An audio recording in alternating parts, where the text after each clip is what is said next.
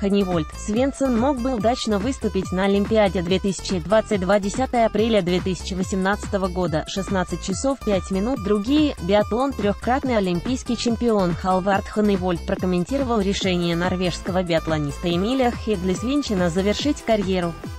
Это очень плохо для норвежского спорта. Многих норвежских биатлонистов в последнее время преследовали неудачи, не только Свинчена, но я считаю, что он еще мог выступать на высоком уровне. Когда закончил карьеру у Лейна Берндален, это было ожидаемо, ему уже 44 года. Но Свинчену в июле исполнится всего 33 года, нет, он не заканчивает карьеру слишком рано, но мог бы еще продолжать соревноваться не один год.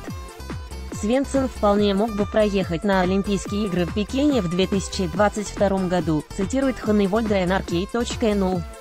В то же время Ханневольд сказал, что понимает Свенчена. В качестве главной причины завершения карьеры Свенсон назвал проблемы с мотивацией. Источник NRK сообщить об ошибке, комментарий 0.